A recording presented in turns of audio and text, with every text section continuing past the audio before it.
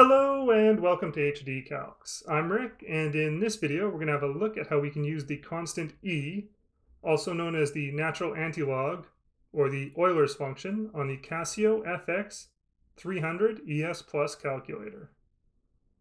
To do that we'll use the alpha key that looks like that, located here, the shift key that looks like this, located here,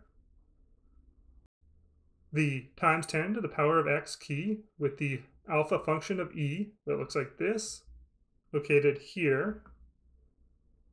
The natural log or ln key with the shift function of e to the power of that looks like this, located here. And the negative key that looks like this, located here. If we just want to get the constant e, or Euler's number, what we have to do is press the alpha key, and then the times 10 to the power of x down here, and that will put e on our screen. If we press equals, we see that's equal to 2.71828, etc.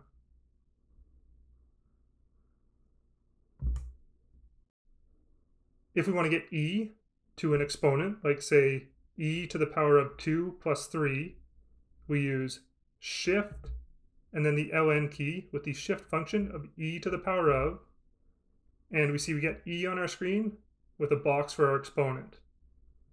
We then enter our exponent in here, so 2 plus 3, and then we can bring our cursor down and press equals, and see we get a result of 148.41315, etc.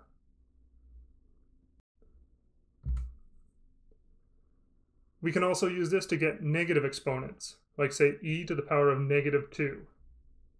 We go shift ln and get our e with the exponent box. And then we use the negative key and 2. We make sure to use the negative key and not the subtraction key here because that'll give us a different result.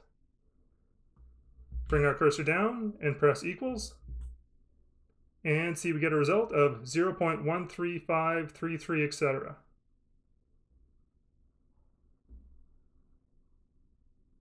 All right, I hope this helps, and good luck on those tests out there, everybody.